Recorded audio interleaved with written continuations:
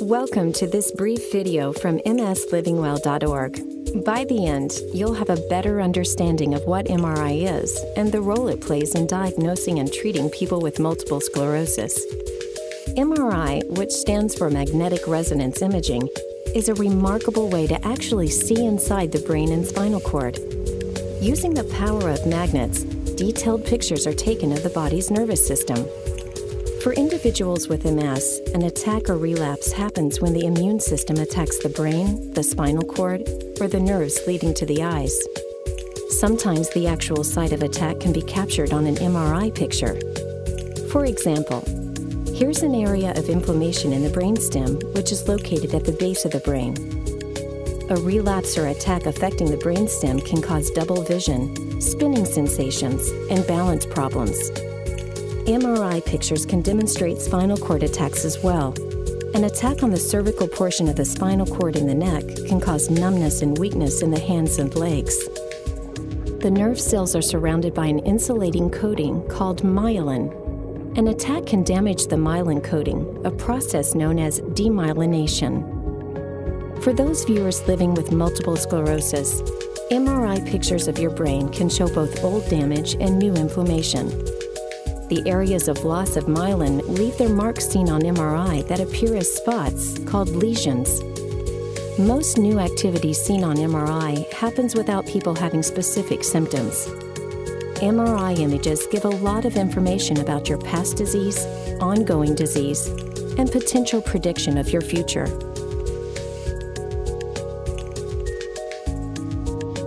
When you get an MRI, many different sets of pictures are taken.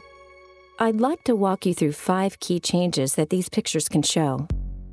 First, T2 and FLAIR lesions. T2 and FLAIR images make MS lesions in the white matter stand out as bright spots. Your MRI report might refer to these spots as hyperintensities. Classic lesions for MS tend to be deep within the brain around the spinal fluid filled spaces, called ventricles oval or flame shaped lesions are typical. Other brain lesions can be scattered in the white matter, especially near the surface of the brain. T2 and FLAIR lesions are due to both old damage and new inflammation. People with MS with many T2 or FLAIR lesions when they are diagnosed are at increased risk for disability. Without MS, usually no T2 spots are found in the brain until age 50. Other causes for white matter T2 lesions need to be considered, such as blockage of small blood vessels from smoking and from high blood pressure. Second, T1 with contrast lesions.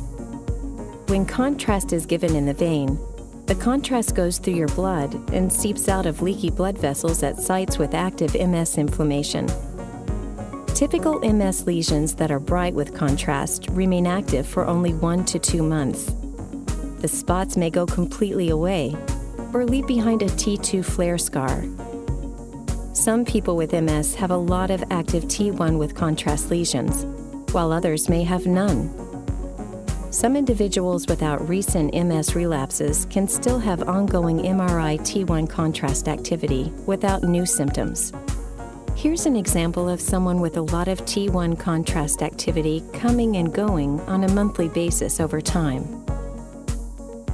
Third, T1 black holes. These dark spots on T1 scans are areas where there has been damage to both the myelin coating and the nerve cells themselves. Since these MS plaques are more severe, people with black holes, also known as T1 hypodense lesions, are at a higher risk for physical disability. Fourth, atrophy.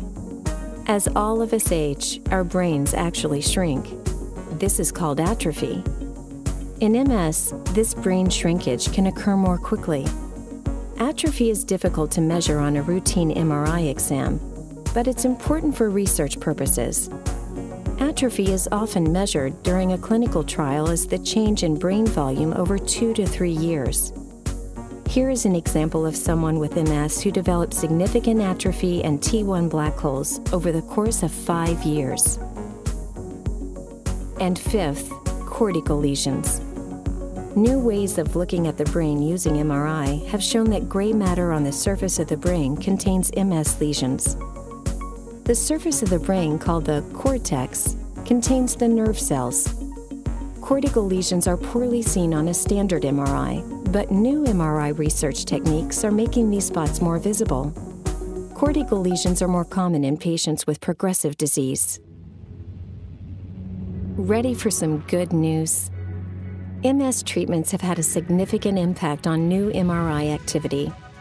Many medications prevent over 70% of new lesions from forming or existing lesions from becoming larger on FLAIR or T2 images. Contrast T1 lesions can decrease more than 80% with treatment. In addition, many MS medications have been proven to slow down atrophy and or prevent new T1 black holes. MRI scans are the central tool we have to diagnose MS and help monitor a person's response to treatment. If too much new MRI activity occurs while taking an MS medication, your healthcare provider may consider a switch in treatment. An unchanged MRI is always welcomed positive news and is one measure that your MS is in check. New generations of treatment are being developed in an effort to repair old damage. One promising approach involves creating new myelin coating. In the meantime, sticking with your treatment plan is the best way to keep your MS under control and your MRI results looking good. Thank you for your interest in multiple sclerosis, understanding my MRI. Hopefully, you have a better understanding of MRI changes in multiple sclerosis and will be better informed when discussing your MRI with your healthcare provider.